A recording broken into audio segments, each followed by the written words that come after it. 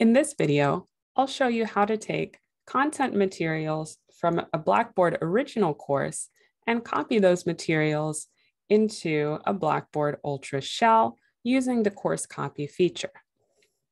So you're first going to navigate into your Blackboard original course, which is where your materials are currently.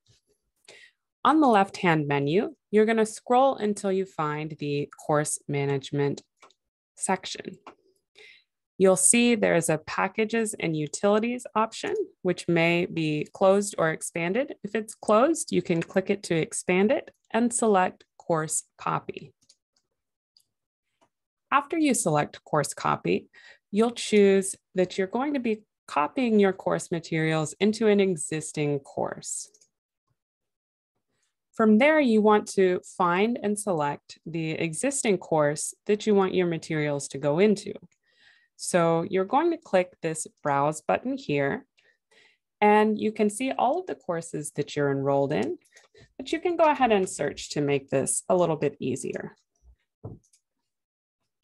So once you find the Blackboard Ultra course that you'd like to copy your course materials into, you can click that left radio button and you'll click submit.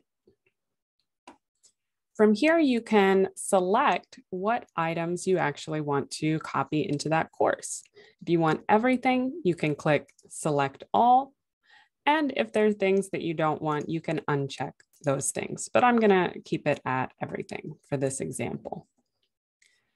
From there, you don't have to change any of these bottom settings. You can leave them as their default and click submit.